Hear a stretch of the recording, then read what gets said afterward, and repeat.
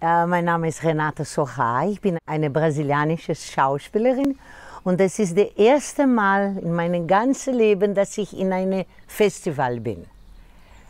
So, alles ist so schön hier.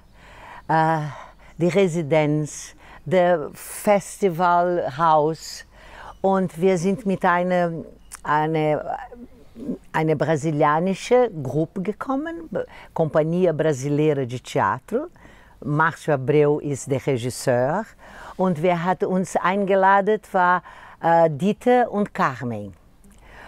Und für uns, das für mich, werde ich für mich sprechen, äh, in diesen sechs Tagen habe ich so viel überlebt, so viel gesehen.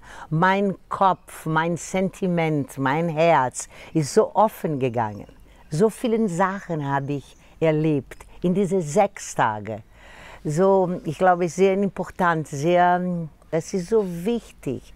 Ich denke immer, warum haben, haben wir nicht etwas so in Brasilien?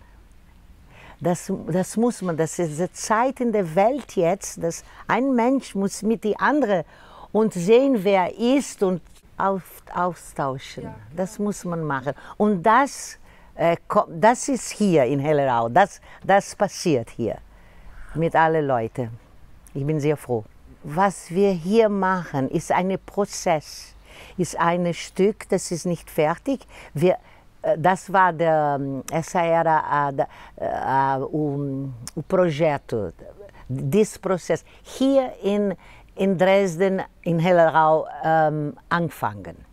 So mit zwei deutsche, wunderbar zwei deutsche Schauspieler, wir angefangen einen Prozess zu arbeiten über Rassismus, Rassismus, nicht?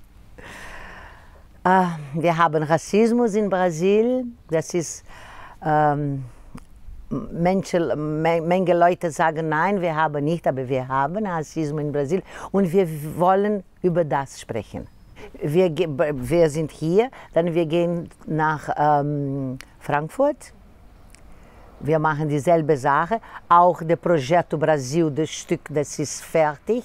Sie machen, der, der, der Kompanie. Und ähm, dann machen wir ein oder zwei Tage diesen Prozess auch in. Und dann gehen wir nach Brasilien und anfangen, dass wir, anfangen, nein, wir machen weiter. Und ich glaube, wir werden hier das erste Mal machen, Opening Night. Ich glaube, das wird in, in Germany sein, in Deutschland. Das ist es. Das ist toll.